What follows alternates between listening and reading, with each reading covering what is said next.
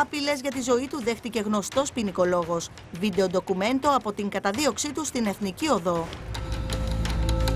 Σε λίγο ο κύριο Σούρλας θα είναι στην παρέα μας, είναι ήδη εδώ.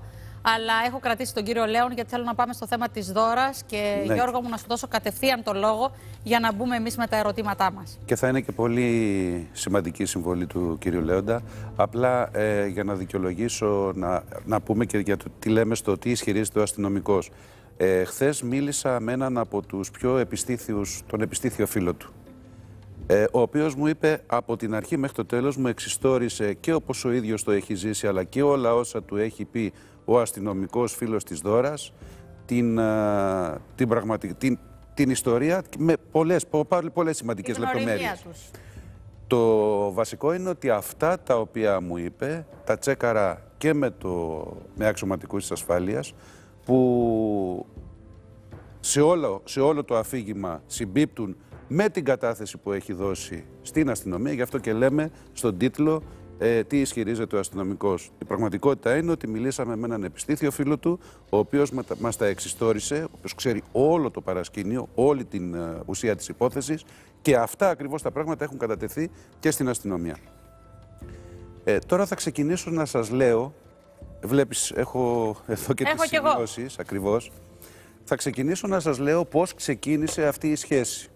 Σε λίγο θα ανέβει και στο site σου το blog.gr. Ακριβώς. Ο Γιάννης και η Δώρα, σύμφωνα με όσα μας λέει ο, ο αστυνομικός φίλος του αστυνομικού πρώην φίλου, γνωρίστηκαν πριν από 18 μήνες εντελώς τυχαία. Δεν γνωρίζονταν από πριν. Η γνωριμία τους έγινε, μας λέει ότι ήμουν μαζί τους όταν συναντήθηκαν σε ένα μαγαζί, καφεστιατόριο, κοντά στην υπηρεσία στην οποία είναι μαζί και η έλξη λέει ήταν αυτόματη και αμοιβαία. Ήταν αυτό που λέμε έρωτας με την πρώτη ματιά. Πέρσι το Σεπτέμβριο, δηλαδή σχεδόν έξι μήνες μετά την ε, συσχέτισή τους, άρχισαν και να συζούν.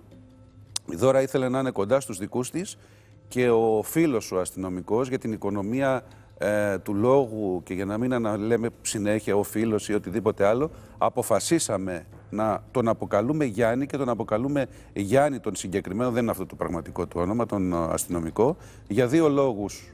Ο πρώτος είναι ότι Γιάννης ονομάζεται ο πολύ στενός φίλος της Δώρας στο μνήμα, πάνω από το μνήμα του οποίου έχασε ε, και η ίδια τη ζωή της, αλλά και είναι και ο αδερφός, Γιάννης λέγεται και ο αδερφός της Δώρας.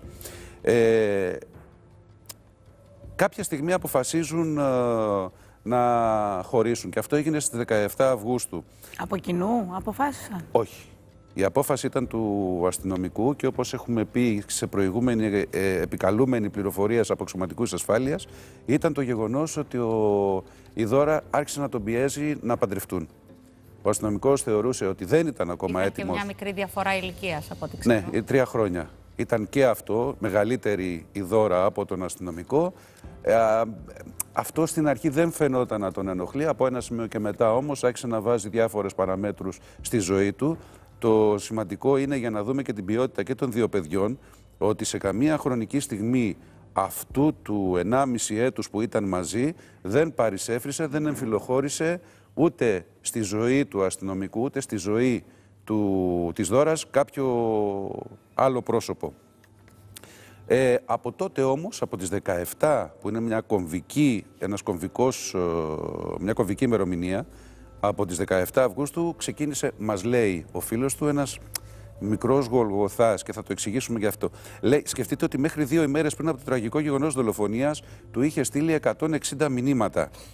Σε αυτά, θέλω να σου πω ότι αρκετά από αυτά τα έχω διαβάσει ε, και πραγματικά βλέπεις ότι η Δώρα ήταν μια κυρία στις λέξεις, στη συμπεριφορά, στη φρασιολογία, στη διατύπωση. Τα μηνύματα που έστελνε. Στα μηνύματα μπορεί να ήταν πιεστικά, αλλά φαινόταν ότι αυτά τα έγραφε... Ερωτευμένη έδειχνε. Ερωτευμένη, πάρα πολύ, παράφορα, αλλά φαινόταν ότι τα ε, έγραφε ένας άνθρωπος με υψηλό δίκτυο αξιοπρέπειας.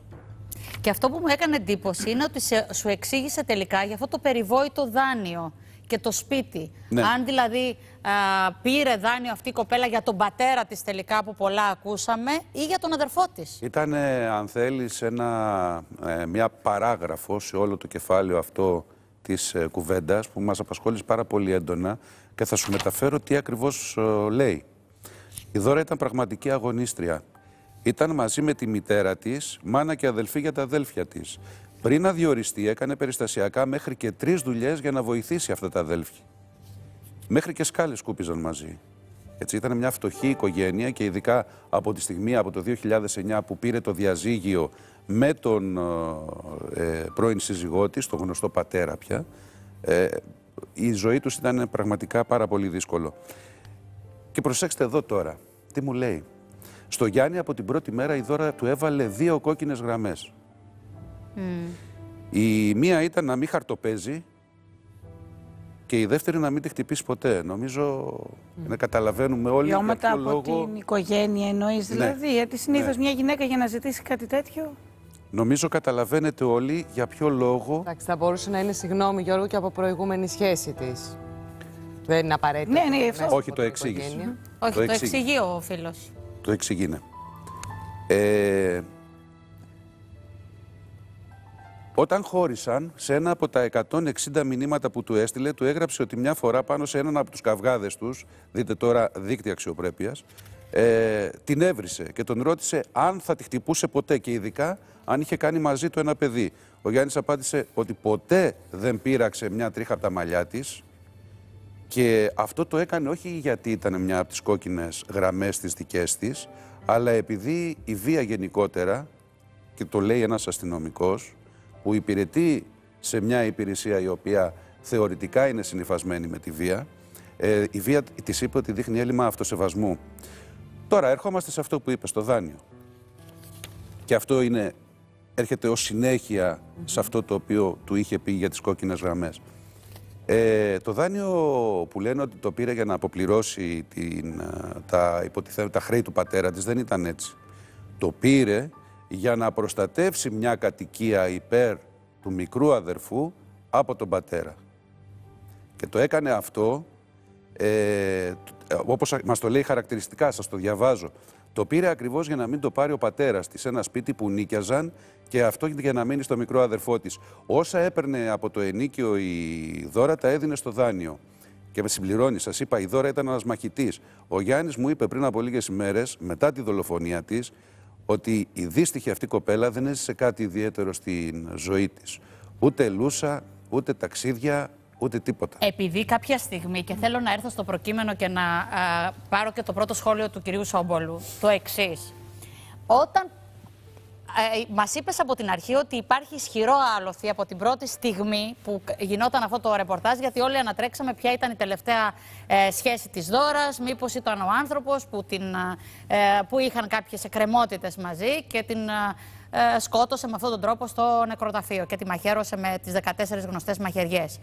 Μας είπες λοιπόν ότι υπήρχε ατράνταχτο άλοθη, γιατί αυτόν τον άνθρωπο εδώ, τον φίλο του, τον ε, έτρεξαν τον αστυνομικό στην αστυνομική διεύθυνση ακριβώς την ίδια μέρα που εκεί συνάντησε και τους γονείς α, ε, της άτυχης δώρας. Ναι.